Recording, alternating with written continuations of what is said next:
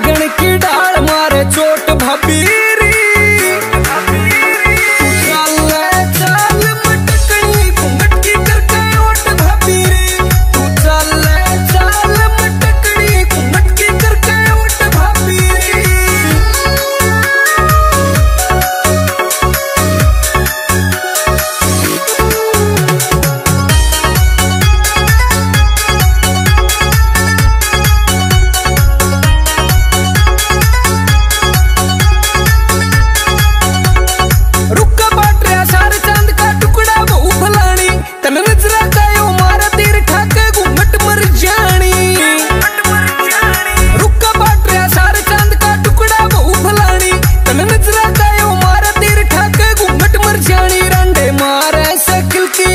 कर ले बात